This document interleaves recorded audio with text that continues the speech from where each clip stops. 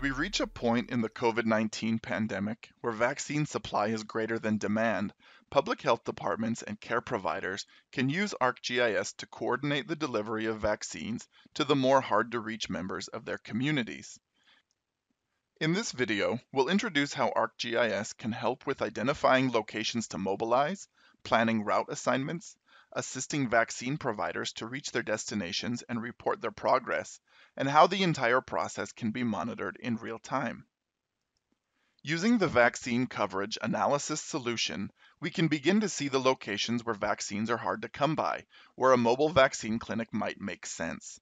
We can visualize the locations that are in or out of a reasonable driving distance from vaccine providers, shown at left, on the right, we can see a statistical risk surface for vaccine accessibility, ranking each region from high to low, based on variables of concern.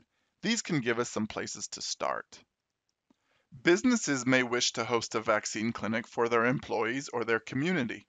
Using Survey 123, an organization might request to partner with the health department for this activity and communicate their needs and circumstances.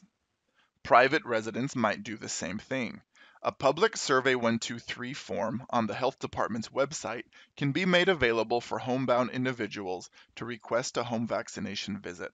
This might serve people with severe disabilities or their care providers, or maybe those with transportation limitations where public transportation is poor. After the resident enters their personal information, a care provider can enter their information as well if they're to serve as a primary contact, or the resident can self-request. They can provide information about how best to communicate with them or any important information for a vaccine provider coming on site. Lastly, the resident can answer any required health-related questions and provide the location of their home. As an alternative to self-enrollment, a preloaded list of candidates can also be submitted to the GIS quickly and seamlessly. It may be that a list of names is made available from existing registries, such as billing and claims data provided by a hospital or health system, or listings from the local fire department. No matter where the list of patients comes from, ArcGIS can be used in the process. Peoples whose names are submitted, whether individually or in batch, can be contacted through a call center to confirm their interest and schedule an appointment. In this dashboard, we can see the latest entry at the top of the list. We can filter our list by those that have not yet been called, those that have been called but not yet answered, and those for whom we have a bad phone number. We can also see those that have refused the vaccine, indicated by the brown 2 on the left-hand side, and those that have already been processed through the call center, shown by the black 167. We can also filter by language so that employees with a language skill can prioritize their efforts based on need.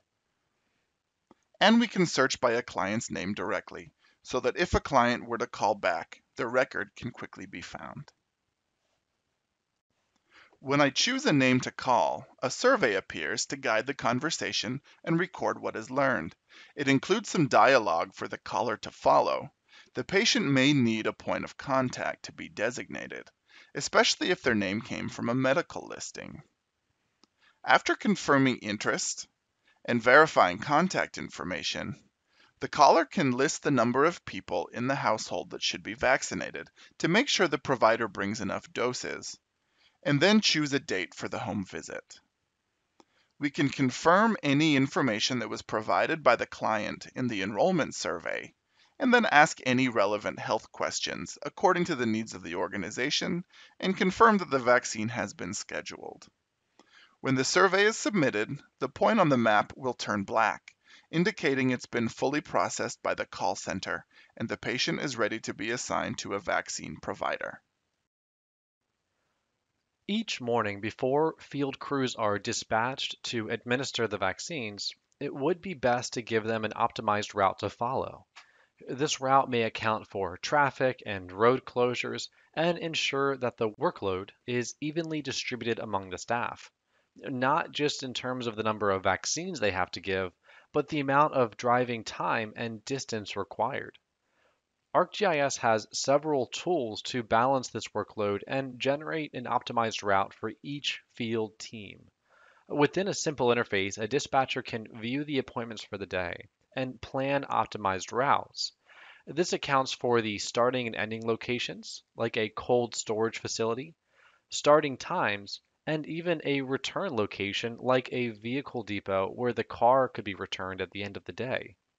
Users can also select the number of vehicles for the given day, the maximum number of stops for any field crew, the projected amount of time at each stop, and the maximum amount of time that a crew should spend working, like 8 hours.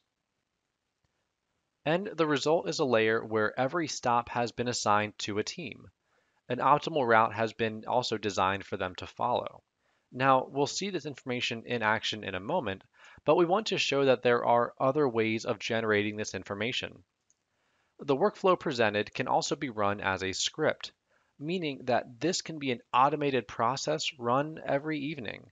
Results can then be visualized in ArcGIS, or it can be part of an automated export to a third-party system. So now what I am gonna do is, I want to answer the question, how we can take those routes created by our routing solver and then assign them to our field workers. So to answer that question, I'm going to use a couple of applications that I really want to show you. The first one is this one is a dashboard. We call this dashboard the homebound vaccination dashboard. And you can see on the left of this dashboard that we have each of the routes created by Mike.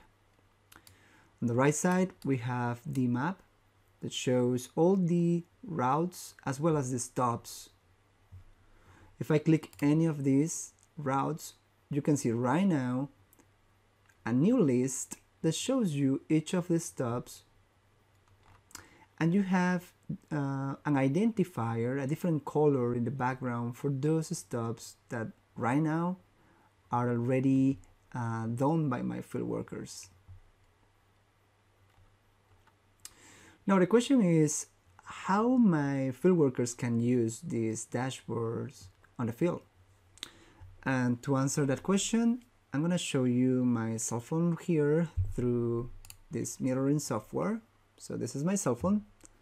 I'm to open the same dashboard now, but using uh, my mobile device. And now you can see that it is loading the same uh, dashboard, but as you can imagine, this is a responsive dashboard.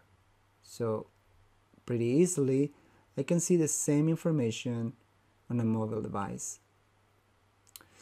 Now, what I'm going to do is, I know that stop 2, 3, 4, and 5 are already done. I'm going to start my uh, assignment for stop 6. So I'm going to click here. Then I can check the details of that specific assignment. I know that um, the name of the person I need to contact is Kevin. And if I want to uh, use the software to map me there, to drive, to give me driving directions there, I can click on map.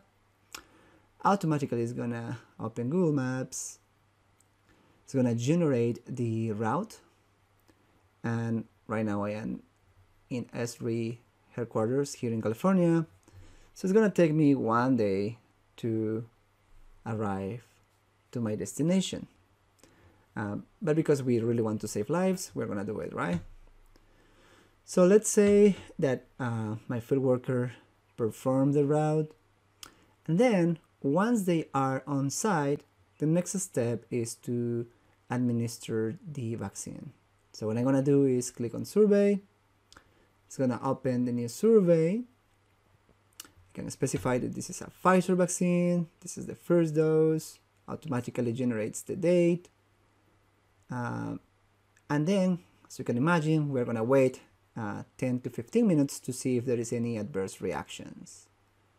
I can put some comments if I need to here and specify some other details and I can submit this information. One thing that I really want to highlight here is that you can see how easy is to navigate between applications. So here again, I am in the survey, my dashboard, pretty uh, quickly. So This is an amazing application for my field workers, very simple. And the most important part is that you can monitor in real time uh, the information that is being collected. So in order to do that, we have a different dashboard. This is the mobile vaccination progress dashboard. And here you can see that we have the total number of clients, um, all of those that has been contacted by my uh, call center, as well as other key indicators. We can filter this information if we need to, to identify specifics, uh, specific populations that we want to target. And also we have the map that show us the distribution of the people that are getting the vaccine so far.